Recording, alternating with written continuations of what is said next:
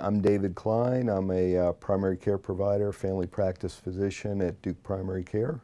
I got interested in health on a personal level initially.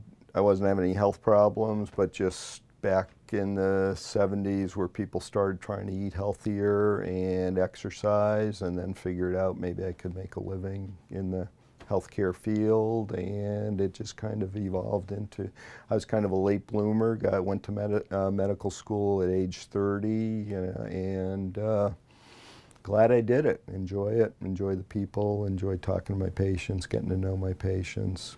I moved here in 1977 grew up in New England thought I was going to be here for two years but loved the area and ki had kids grow up here went to Chapel Hill schools so I like the like the atmosphere here. I get to walk to work, so I get to practice what I preach, and so I get to walk to work about 95% of the time. I played soccer into my 50s and then decided it was time to quit before I had any knee surgery, so I figured I'd quit while I was ahead.